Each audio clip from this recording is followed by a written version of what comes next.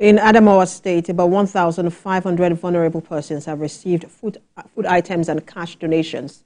The gesture is aimed at mitigating the economic hardship in the state. Senior reporter Wolabi Adenusi filed in this report. Special church service is organized to honor the immediate chairman of the Christian Association of Nigeria in Adamawa State, Bishop Dami Mamza. Shortly after the service, vulnerable groups including people living with disabilities and widows drawn from the 21 local governments of the state were supported with food and non-food items. 1,000 of them received maize, salt, sugar, cooking oil, seasonings, mattresses and wrappers, amongst others. We want this to be done peacefully, and some of them are sick. They cannot stay here for long. And as you can see, some of them are, they are physically challenged. So please, we don't want too much hands in what we are going to do that are bedridden. So we are going to take them to their own houses. So they are already, their own items are not included here.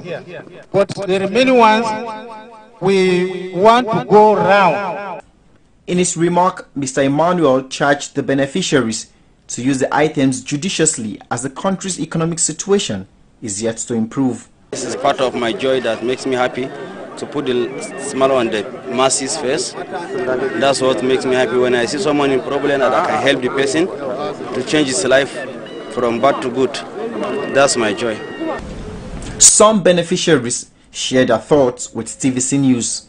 Really, we are, I'm very, very elated because for, for them to have remembered someone like me out there that is uh, of less privilege disabled and called me out to come and, and help me with this. I'm very grateful and I believe God that have put it in their heart will bless them so that they will also extend this gesture to other people.